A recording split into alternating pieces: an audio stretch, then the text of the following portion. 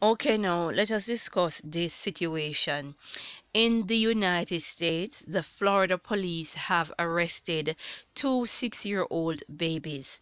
Now, the school decided to call the police after these kids were just being six year old. The police came, they arrested them.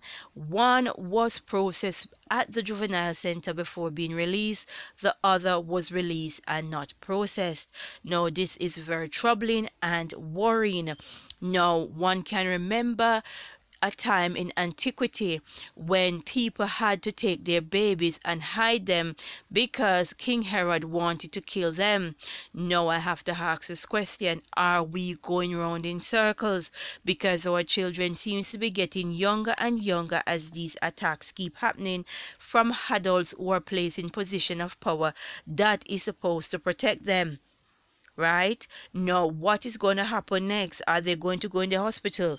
Wait until the baby is born and arrest those babies and say that they are making too much noise and drinking too much milk. This is absolutely ridiculous. And people pay the authorities taxes to come and arrest six year old babies. Now let that sink in for a while. We definitely see that there's an attack on our children right? And we need to make this clear that it should not be tolerated any form of attack on kids like this, especially from adults in position of power. But in the United States, the authorities are a bit comfortable with attacking children. In Utah, the police pulled a gun on a 10-year-old child that was playing on the lawns of his grandmother. Now, mark you, this is coming from a country that in a couple years behind us in 1944 they executed a 14 year old child by the name of George Stinney Jr. and he was just 14 year old when they sent him to the electric chair because they accused him that at 14 he could crush the skull of a 7 year old and a 11 year old child as well no, it depends on your resource material. Some say had to sit on a Bible, others say telephone directory. But nonetheless, we see the state turning on our children. It's not the first, and it will continue until they decided it is time to do a George Stinney again. Right?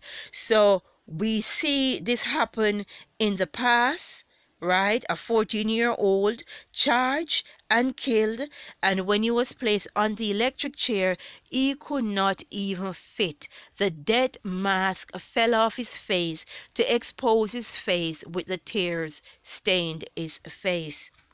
No, people, you need to ask important questions and you need to pay attention. They have arrested two six year old kids. What is there to stop them from having another George Stinney Jr.? Remember, these stories, I do not make them up. I do not make them up.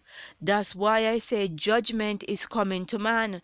This cannot continue. You cannot attack innocent children like this as adults and expect that the Most High will be pleased about it. No. He will cast judgment upon man. Let us not be in our feelings when that happen. I will continue to pray for our children and say, Glory be to the Most High in these troubled times.